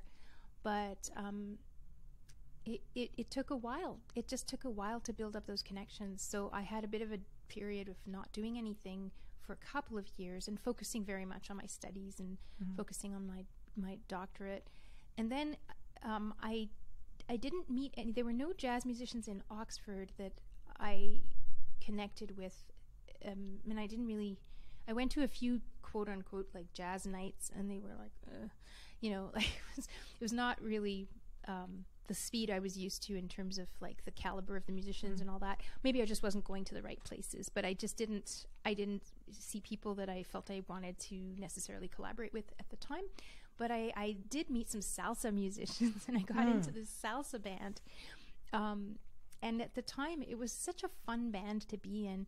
It was a very mixed abilities band. There were professional musicians in the band, and there were also people who were just doing it for the love of it. Um, but what was so refreshing about that band was that I was in a university town where every single conversation with anybody you met always started the same way. You know, it was always like, "So, what's your thesis about?" Mm. and you're just like, "Oh my god, I want to meet someone with a real life and a real job who's not stuck in their ivory tower, right?" And so, what I loved about that band is we had like, we had the bongo player. He was from Ecuador. He was a welder in the local um, the BMW car factory that was mm. like a couple of t- like one town away. Um, we had a bassist who was a carpenter by trade. We had a saxophonist who was um, an an who worked at like an advertising agency, and um, a trumpet player who was you know who worked for the local gas company, like as a salesman. So it was like people who were not from the academic world and i just found that so refreshing and it gave me a different perspective and to to play for audiences that are dancing mm-hmm. was a, quite a revelation to me because i was used to singing in jazz clubs where everybody sort of sits there like this and they're tapping their feet sometimes but they're rarely getting up and dancing whereas at a salsa gig everybody's dancing all the time and that's your purpose is to make them dance and to mm-hmm. have lively arrangements and recognizable tunes that people are going to be able to sing along with and so we were doing like tunes by Celia Cruz and Willie Colon and um, Oscar de Leon, and you know, just just just really fun, bo- bodacious arrangements. And um, boy, was it a, a hot! It got gave me such a thrill to see people dancing to our music. It was mm-hmm. just the best. it's interesting because at the beginning of this conversation, we talked about your early roots in dance and how that was connected with feeling the music in your body, and then you came to that. Yeah, you're right. You're right. And and actually salsa dancing was I, I because I the reason I got into that band was I had also started to dance on the local salsa like just getting part of the salsa scene and that was because of my Brazilian housemate who mm-hmm. would take me out dancing all the time. She's like, "Come on, let's go dancing. Let's go dancing." So we would go dancing together and we would meet all these people and that's how I met these people in the band and they said they were looking for a singer who spoke Spanish and I was like, "I'm a singer who speaks Spanish. I can do that." and um but you're right. It was through the dance. It's it was through my rediscovery of my love of dance. This time through salsa dancing, like partner mm-hmm. dancing. That that it it was so much fun. Um, the thing I find hard about those styles of dancing, though, whether it's tango or salsa, is the guy is always leading. You know, mm. as a mm. woman, you have to follow a guy's lead, and I was like, ah. Oh, why can't I lead sometimes? but that's not the done thing. yeah. Yeah, and you're also at the mercy of whether that person has good rhythm or not because you you, you got to follow what they're doing, right? so that's always interesting. When you brought up your ukulele, um, you said this is I think you said it's a tenor or a baritone. It's a it's a, tuned as a baritone. Mm-hmm. It's actually a slightly smaller scale than a typical baritone ukulele.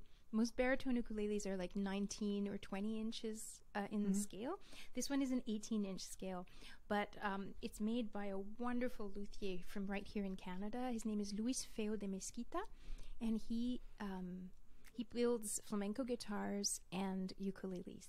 And he builds each ukulele with the same care he would put into like a beautiful guitar. And they just they have this the most beautiful, you know, like like the tone is just oh to die for like after you've played one of his ukuleles it's really hard to go back to one of those factory made ukuleles because yeah i love his instruments and i'm so lucky to have one of his instruments and he just he he has a background in engineering and he is uh, to me he's like the perfect marriage of of the science and the art because he he takes such care in his instruments and he understands the physics of what's going on in the instrument. You know, I, I think to me that's the thing that uh, you know I always come back to is that so much of music production is about physics and waves, right?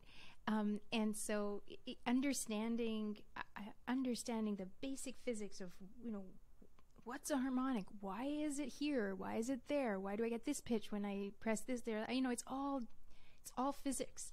And so to have someone like him who understands the physics so innately, but also has this deep understanding of what each tone wood is going to achieve, it's fascinating to talk to him. Like I, again, I can sort of geek out um, and Adrian's also a bit of a wood, a wood tone wood geek as well. Mm-hmm. Adrian loves to do the research to be like, okay, so if we had a spruce, if we have like e- Engelmann spruce, it's going to be like this, but we could also do Adirondack spruce or bear claw spruce or da da da da da. I'm just like, oh my god! So it's it's really fun to sort of the the joy of consulting during the process of making a custom uke is to try to imagine what the uke is going to sound like based on sound samples that you're listening to and it's so I find it very hard it's it's still very much a leap of faith to decide like what should the back be so this instrument for example this is Port Orford cedar on the top and um, you know what I love about it is like the top is from Canada so it's Port Orford cedar from Canada but the back and sides of the instrument they're made of koa, which is a tree that grows in Hawaii.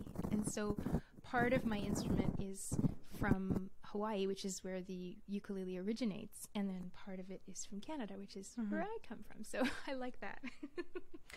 Yeah, I understand it's definitely a Hawaii instrument, but it was um, inspired by Portuguese sailors who'd brought small guitars. yes, yes, exactly, exactly. And and, and so they came over from Madeira, which was um, um, a, they, they were um, laborers who were um, some of them were agricultural workers. There was like a there was a crop some bad situations in Madeira at that time where they they had some crop failures, like just difficult climat- climatological situations where the, the agriculture just wasn't yielding what people were expecting, and so and Hawaii. Uh, at the time, had a great need for foreign workers to come in to, you know, work the sugarcane fields and just prop, you know they needed external labor because their economy was was growing faster than they could have you know they didn't have enough people to work. And so some carpenters and cabinet makers and um, were on this boat that that sailed from Madeira to Hawaii. And apparently the so the story goes that when the, it was a long journey several I think uh, more than a hundred days journey, if I remember correctly, on this boat called the Ravenscrag, that went over from Madeira to um, to Hawaii. And when they um, they put into port, and when the the Portuguese immigrants got off the boat, they were so happy that they brought out their little instruments. And um, yeah, there's a couple of instruments. Um, there's one called um, rajão, which is, um, and then there's um, they're they're in a family of instruments called cavaquinho, uh, which is uh, typically like a four-stringed instrument, which can either have metal strings or um, nylon strings. I think depending on where which part of the world it's it ended up in. Um, but the cavaquinho is also a big part of Brazilian of samba music. It's like this tiny. Um, the, the cavaquinho will have like metal strings, and so it has a very plucky sound because it's often like you're hearing. It's like way up here, this hmm. octave sound, like it's. That's the sort of that sound, but of course I can't really reproduce it because I don't have the sort of steel strings hmm. that you would normally have on like a high tension cavaquinho. But it's that sound that you're we, we're all familiar with. If, we, if you like Brazilian music, you've heard that little tick tick tick tick, and then you hear the cavaquinho also in music from like Cabo Verde. So if you hear Cesaria Évora or any of those wonderful uh, musicians from Cabo Verde, they've often got like a, a slower strum, but it'll be like like those same kind of sounds of up there, that little angels sort of cavaquinho sound.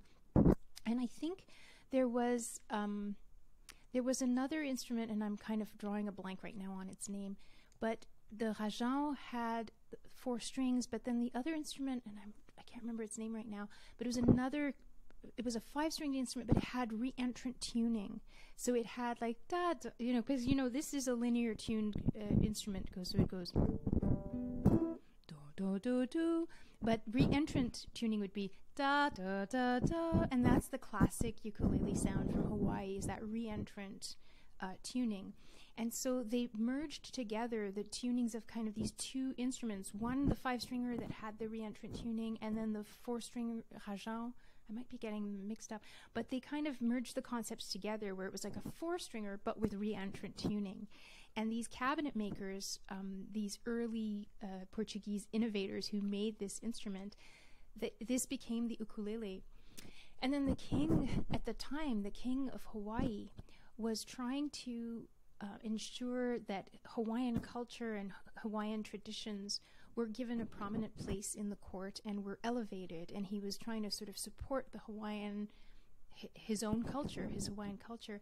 And so he he um, started using these new instruments, these ukuleles, to accompany. He was a, a good singer, and he had a group of singers that he had in his court who would perform, and they all started playing the ukulele, and he loved the ukulele, and I think it was thanks to his support of the instrument that it really flourished. So it's it's it's just such a lovely history. It's even though it's a very recent history compared to other instruments, I think it's it's got such a beautiful and unique history. a couple things I was curious about. One of them is do you are you working on new songs or a new album? Oh, that is a good um I'm not I have a ton of songs that I have never recorded that I want to still record and mm. I'm hmm. also in the process of writing some new songs that have been percolating in my in the back of my mind but I feel kind of at, at this point I'm a little bit at, at, a loss for how to proceed because I released um, Future Perfect the latest album in 2019 we did a release concert at the Na- National Arts Center and I did a a release uh, show, a weekend show at the uh, at Upstairs Jazz Club in Montreal. Mm. But there were plans for other concerts, and then the, and, and then 2020 pandemic hit, and everything stopped. And I was like, what do you do with a, a newly released album that you can't tour? And SyncSpace hadn't been invented yet, and I couldn't perform with anybody. And I, it was just like, I don't know what to do anymore about this album. Like, is it old news? Can I start promoting it now? Is it too late? So I'm still kind of trying to figure out because we we're still not re- returning to live performing yet, mm-hmm. right?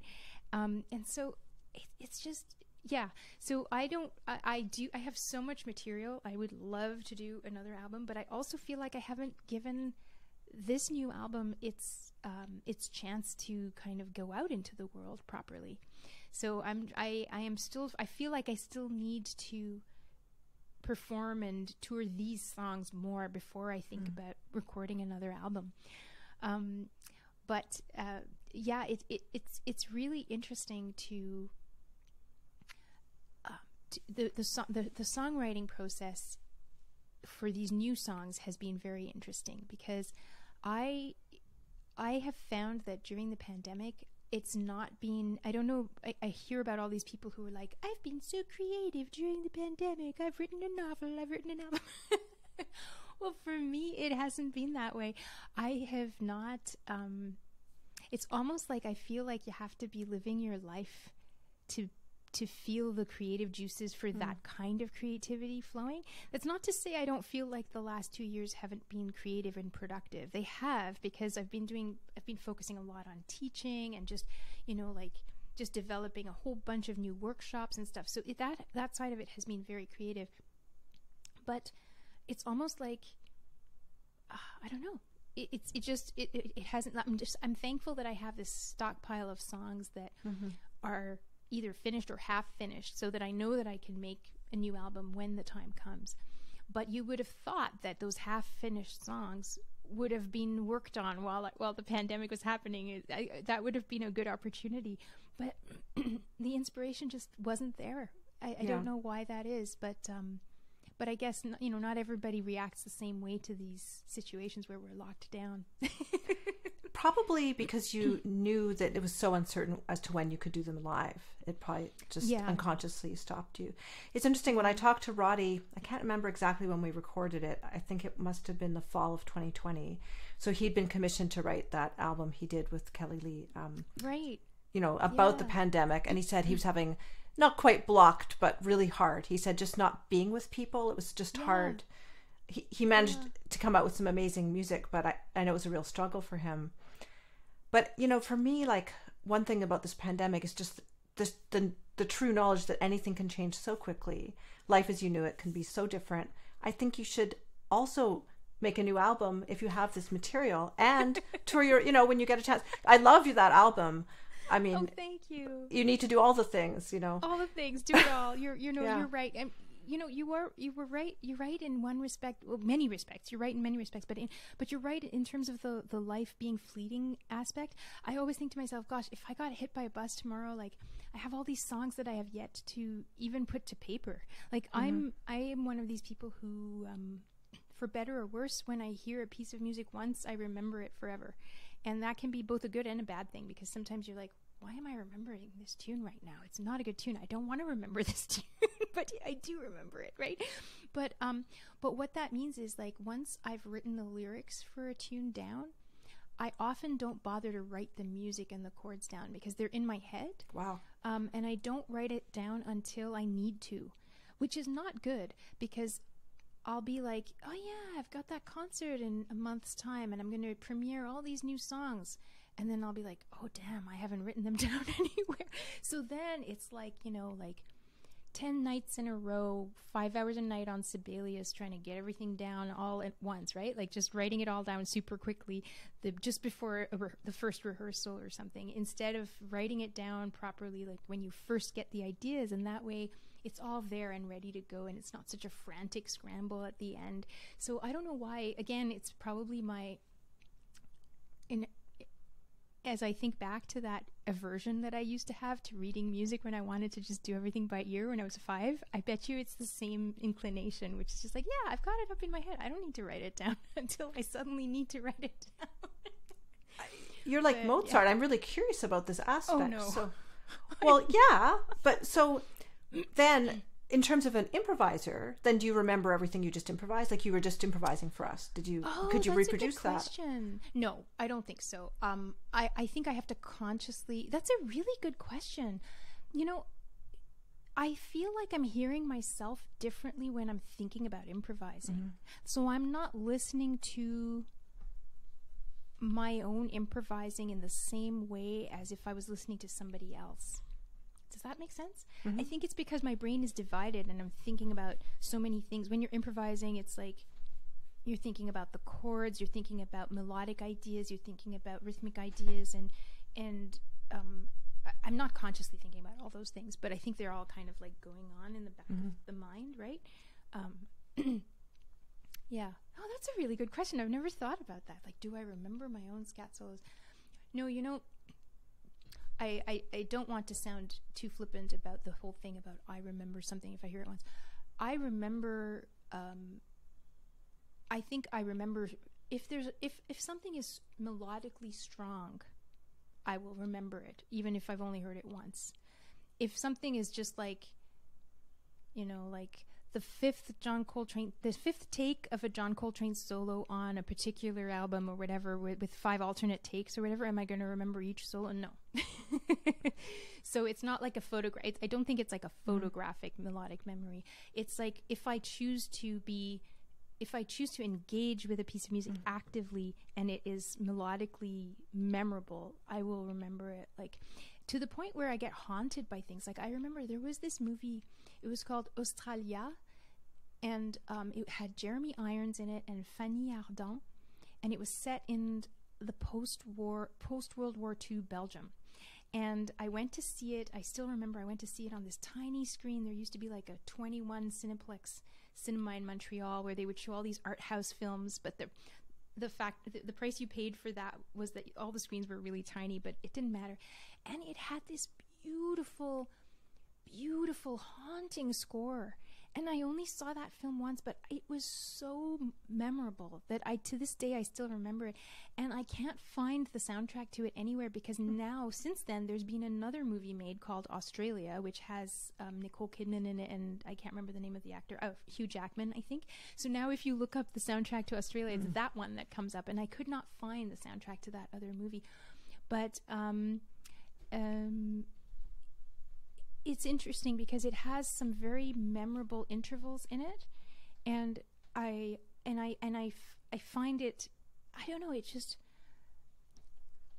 I've never heard anything like that before, mm. and it haunts me, and I can't find it anywhere. So I, I have to keep humming it to myself, but I can't find the album anywhere. and you've written music for movies as well. Um, oh, well, I've written music that got used in ah, movies, okay. which is a bit different. So yeah. um, I wish I had written music bespoke for a movie. I would mm-hmm. love to do that.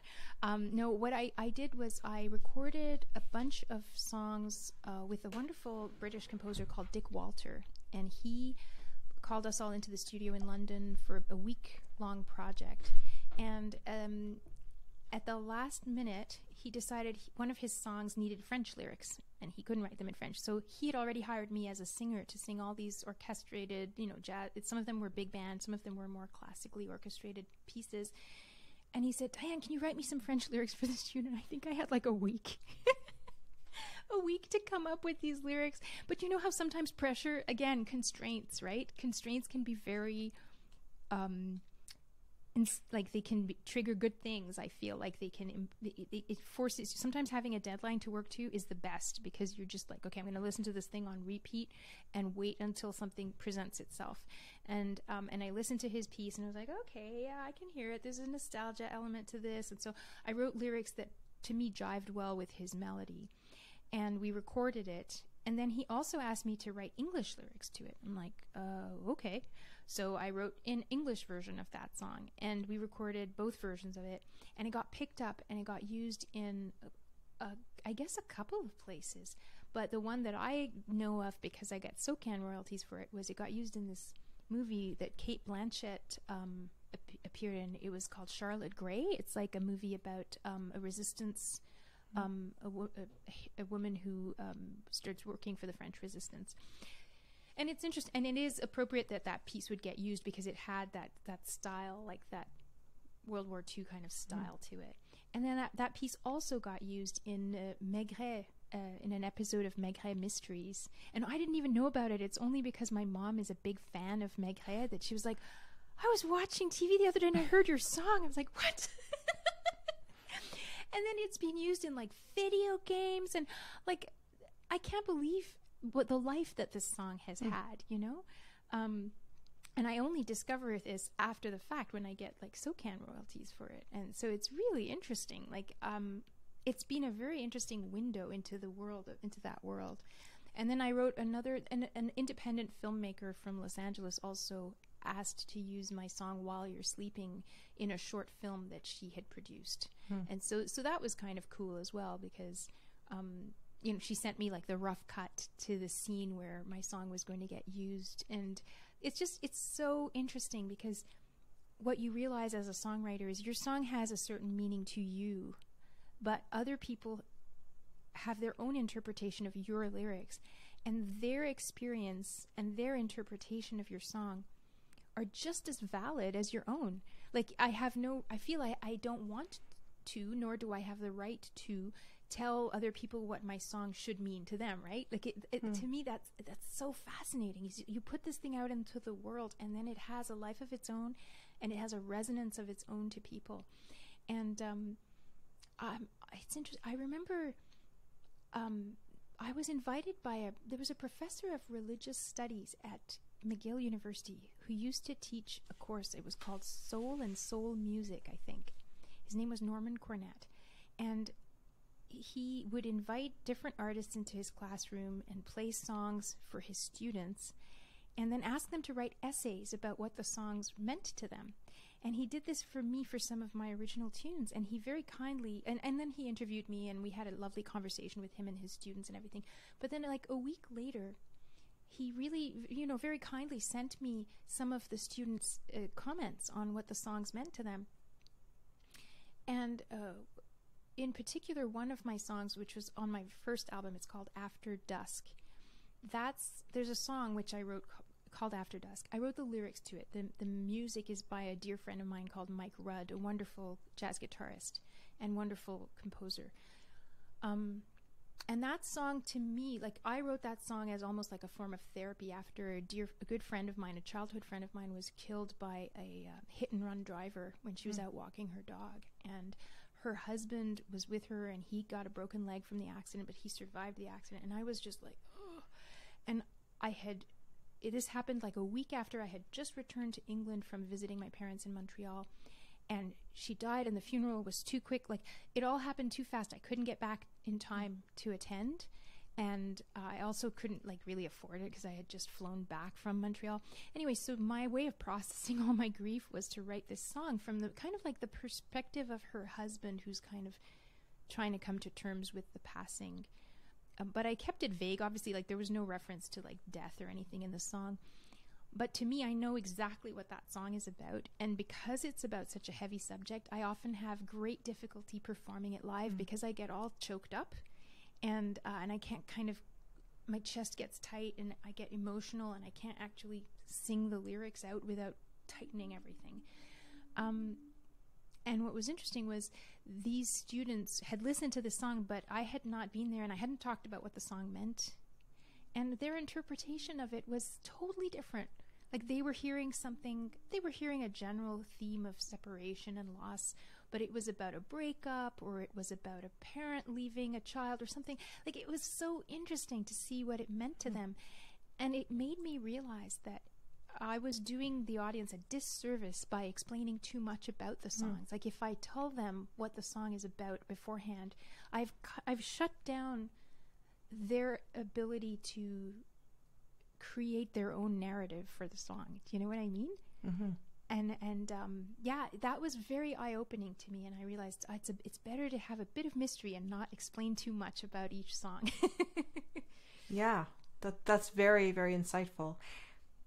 Well, it's so much food for thought. This has been an amazing conversation. I, oh, thank you so much. Thank you, Le- thank you, Leah. It's it's just um, it's been a delight to talk to you. I feel like I I feel like I've known you for a long time, even though we've just met. You're so delightful to talk to, and um, I, I thank you so much for having me on as as your guest. It's just been a delight. Season one of this podcast had 20 episodes, and season two continues with a really interesting mix of musicians talking about their lives and careers with perspectives on overcoming challenges, finding inspiration and connection through a life so enriched with music. Please follow this podcast wherever you listen to podcasts to be informed about each new episode.